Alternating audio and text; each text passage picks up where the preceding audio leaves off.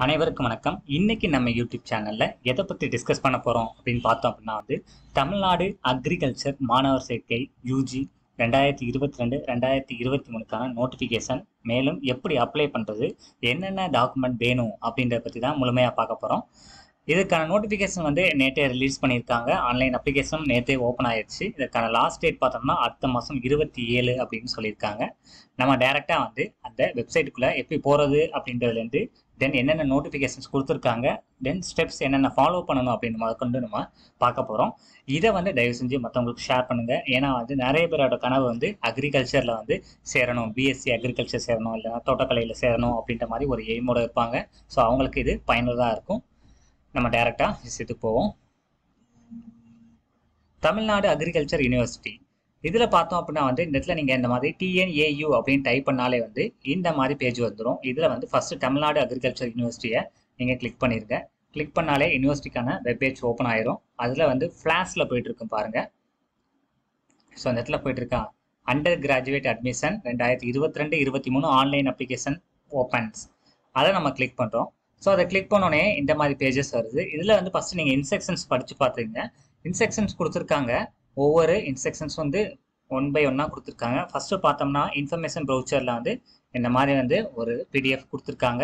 என்னென்ன agriculture science programs இருக்குது அப்படின்றத கொடுத்துருக்காங்க. அதுதான் நீங்கள் வியூ பண்ணிக்கிட்டு இருக்கீங்க. BSc agriculture Tamil medium English medium தோட்டக்கலையில் இருக்குது again food and nutrition BTech இருக்குது அதே மாட்டம் டெக்னாலஜி ப்ராசஸில் என்னென்ன இருக்குது அக்ரி பிஸ்னஸ் மேனேஜ்மெண்ட் இது எல்லாமே வந்து அக்ரிகல்ச்சர் யூனிவர்சிட்டியில் இருக்குது ஸோ இதையும் நீங்கள் அப்ளை பண்ணிக்கலாம் அப்படின்றதையும் கொடுத்துருக்காங்க. தென் இதுக்கான டவுட்ஸ் ஏதாச்சும் இருந்தாலும் நீங்கள் இதில் கால் பண்ணி கேட்டுக்கலாம் இல்லை மெயில் பண்ணிக்கலாம் அப்படின்றதையும் சொல்லியிருக்காங்க.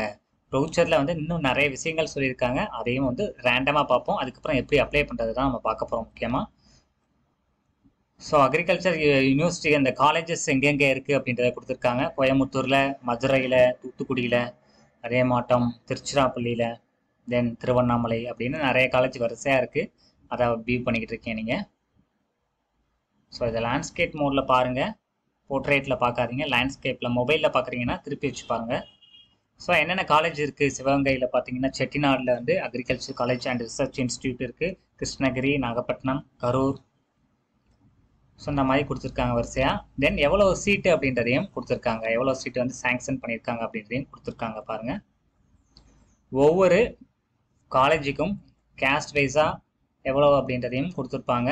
அதையும் நம்ம கோத்ரூ பண்ணிடலாம். இந்த பிடிஎஃப் வந்து நீங்கள் ஃபுல் அண்ட் ஃபுல்லாக வந்து நீங்களே பாருங்கள் அப்போ தான் உங்களுக்கு ஒரு ஐடியா கிடைக்கும். ஓகே எங்கெங்கே அக்ரிகல்ச்சர் பிஎஸ்சி இருக்குது பிடெக் இருக்குது அப்படின்றதையும் நீங்கள் தெரிஞ்சுக்கலாம். ஸோ அதுக்கான எலிஜிபிள் அப்படின்றதையும் கொடுத்துருக்காங்க. ஸோ எப்படி வந்து ரேங்கிங் ப்ரொசீஜர் எப்படி இருக்கும் அப்படின்றதையும் கொடுத்துருக்காங்க. Mathematics physics chemistry biology if candidates obtain following aggregate mark அப்படின்றதையும் கொடுத்துருக்காங்க. தென் எலிஜிபிள் ப்ளஸ் டூவில் வந்து மேத்தமெட்டிக்ஸ் ஃபிசிக்ஸ் கெமிஸ்ட்ரி பயாலஜி எடுத்துருக்கணும் அப்படின்றதையும் சொல்லியிருக்காங்க. அப்படி இல்லைன்னா குரூப் டூ ஏயில் வந்து ஃபிசிக்ஸ் கெமிஸ்ட்ரி பாட்னி ஜுவாலஜி எடுத்துருக்கலாம். அந்த மாதிரியும் கொடுத்துருக்காங்க. என்னென்ன கேட்டகரியோ அதை வந்து நீங்கள் பார்த்துக்குங்க. தென்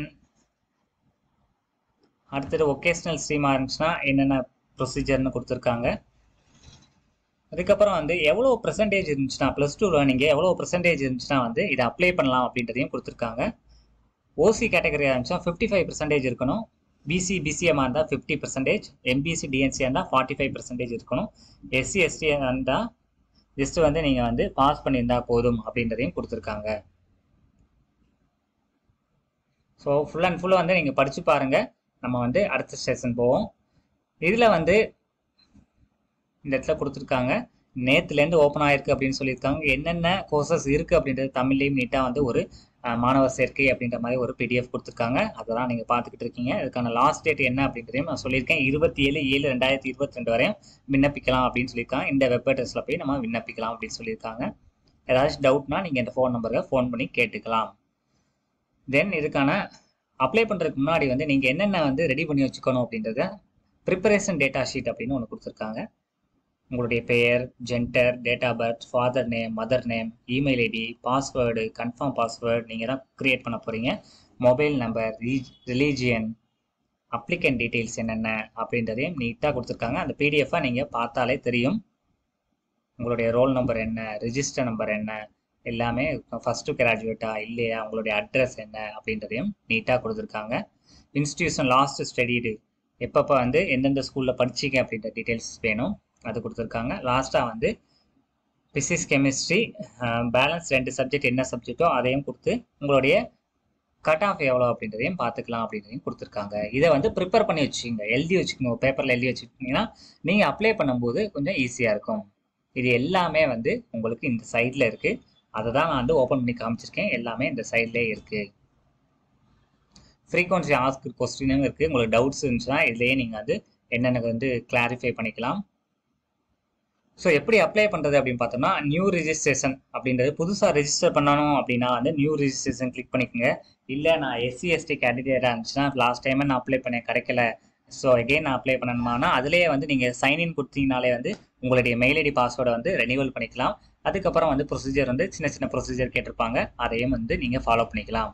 எஸ்சி எஸ்டி ஆரம்பிச்சுன்னா இல்லை அப்படின்னா வந்து நம்ம நியூ ரிஜிஸ்ட்ரேஷன் போகிறோம் ஸோ நியூ ரிஜிஸ்ட்ரேஷனில் வந்து உங்களுடைய பேர் date of birth gender father name mother name email ID password நீங்கள் க்ரியேட் பண்ணணும். கேபிட்டல் லெட்டராக இருக்கணும் ஒன்று மற்றெல்லாம் small letter then special character இருக்கணும்.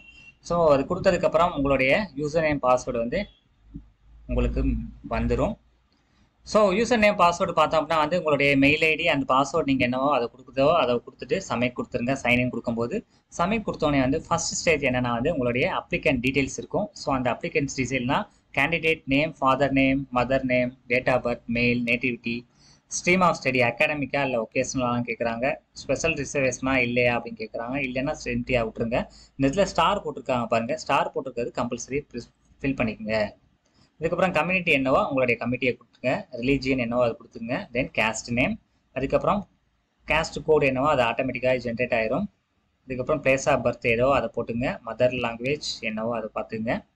அதுக்கப்புறம் டென்த்து லெவன்த்து டுவெல்த்து வந்து தமிழ்நாட்டில் படிச்சிங்களா அப்படின்னு கேட்குறாங்க எஸ்னா எஸ்னு கொடுங்க. நோனா நோன்னு கொடுங்க. என்ஆர்ஐ கோட்டானா எஸ்னா எஸ் இல்லைன்னா வந்து எம்டியாகவே விட்டுருங்க. எதுவுமே கொடுக்க வேணாம். ஏன்னா இங்கே ஸ்டார் போடலனாலே நீங்கள் எம்டியாக விட்டுடலாம் இஸ் பாஸ்ட் இன் டுவெல்த் எஸ்னா எஸ்னு கொடுங்க. டுவெல்த்து பாஸ் பண்ணால் தான் நம்ம அப்ளையே பண்ண போகிறோம் number of appearance to pass twelfth standard எத்தனை வாட்டி நீங்கள் அட்டம் எழுதிருக்கீங்க கேட்குறாங்க அதாவது அட்டம் மீன்ஸ் ஒன் டைம் தான் ப்ளஸ் டூ எழுதுறீங்களா? இல்லை டூ டைம்ஸ் எழுதுறீங்களா? இல்லை த்ரீ டைம்ஸ் எழுதுறீங்களா? அப்படின்றது கேட்டிருக்காங்க. உங்களுடைய ரிஜிஸ்டர் நம்பர் போர்டு நேம் அதுக்கப்புறம் தமிழ் மீடியமாக இங்கிலீஷ் மீடியமாக கேட்குறாங்க உங்களுடைய சப்ஜெக்ட் குரூப் என்னவோ இந்த மாதிரி டைப்பில் வந்து நீங்கள் எந்த டைப்போ அதை வந்து நீங்கள் கிளிக் பண்ணுற மாதிரி இருக்கும். அதுக்கப்புறம் வந்து want to study agriculture and yes or no அப்படின்னு கேட்குறாங்க படிச்சிருந்தீங்கன்னா எஸ்ன்னு கொடுங்க. நோனா நோன்னு கொடுத்துருங்க. அதே மாட்டம் தமிழ் மீடியம் படிச்சிங்களா? ஆறாவதுலேருந்து பன்னெண்டாவது வரையும் அப்படின்னு கேட்டிருக்காங்க. எஸ்னா எஸ்ன்னு கொடுங்க. நோனா நோன்னு கொடுத்துருங்க அதுக்கப்புறம் உங்களுடைய அட்ரஸ் அண்டு ஃபோன் நம்பர் கொடுக்குற மாதிரி இருக்கும். அது எல்லாமே வந்து அட்ரஸ் ஃபோன் நம்பர் கொடுத்து சேவ் அண்ட் நெக்ஸ்ட் கொடுத்துருங்க. தென் உங்களுடைய ஃபோட்டோ அண்டு சிக்னேச்சர் வந்து இதெல்லாம் இந்த மாதிரி அப்லோட் பண்ணுற மாதிரி இருக்கும். அதுக்கான சைஸும் கொடுத்துருக்காங்க.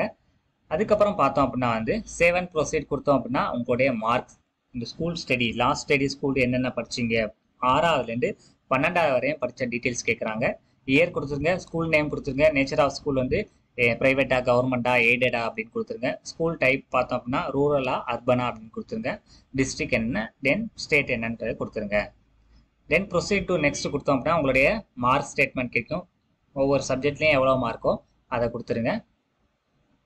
ஸோ லாஸ்ட் டைம் வந்து இந்த பர்சன்டேஜ் பாயிண்ட்ல இருந்துச்சுன்னா பாயிண்ட் போட்டிருக்கேன். அப்படி இல்லை அப்படின்னா வந்து எவ்வளோ மார்க்கோ அதை நீங்கள் கொடுத்துக்கலாம். அதுக்கப்புறம் சேவ் அண்ட் ப்ரொசீஜர் கொடுத்தோம் அப்படின்னா வந்து ஸ்போர்ட்ஸ் கோட்டாவான்னு கேட்குறாங்க எஸ்னா எஸ்ன்னு கொடுக்க நோனா அடுத்த பேஜ் போயிருங்க. ப்ரொசீட் டு நெக்ஸ்ட் பேஜ் அதுக்கப்புறம் இதில் document upload tenth mark sheet வேணும். டுவெல்த்து மார்க் ஷீட் வேணும். டிசி வந்து both page front and back வேணும். அதே மாதிரி கம்யூனிட்டி சர்டிஃபிகேட் வேணும். டுவெல்த்து மார்க் ஷீட் வந்து இப்போ வந்து ஜென்ரேட் ஆகலை அப்படின்னா வந்து நீங்கள் வந்து இப்போ கொடுத்துருக்காங்க பாருங்கள் டெம்பரரி மார்க் ஷீட் அது கூட நீங்கள் அப்லோட் பண்ணிக்கலாம். அது கொடுத்ததுக்கப்புறம் சேவன் ப்ரொசீட் கொடுத்தோம் அப்படின்னா வந்து உங்களுடைய காலேஜ் செலெக்ஷன் வந்து வரும். ஸோ என்னென்ன காலேஜ் இருக்குது அதை ஆர்டர் வைஸாக நீங்கள் செலக்ட் பண்ணுற மாதிரி இருக்கும்.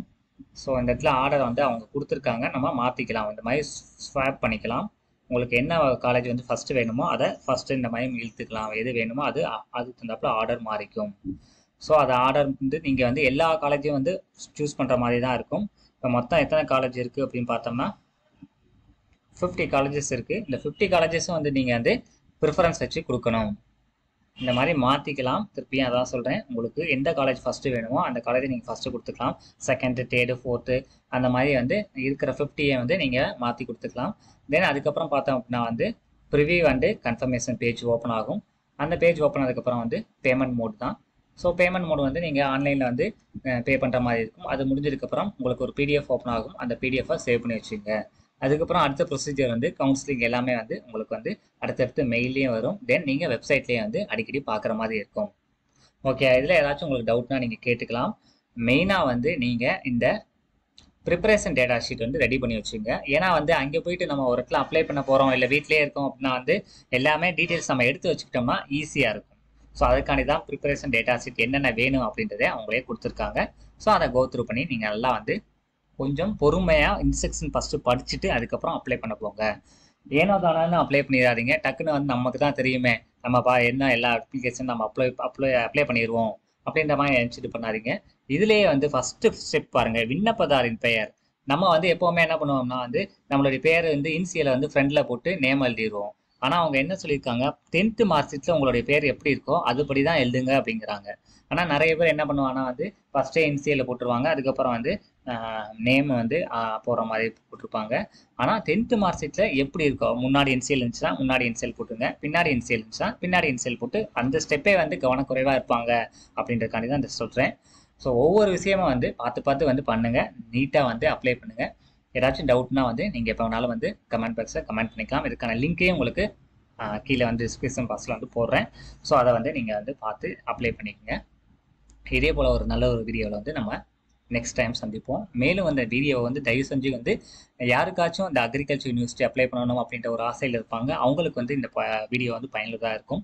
ஸோ அவங்களுக்கும் ஃபார்வர்ட் பண்ணுங்கள் நெக்ஸ்ட் வீடியோவில் சந்திப்போம். நன்றி வணக்கம்.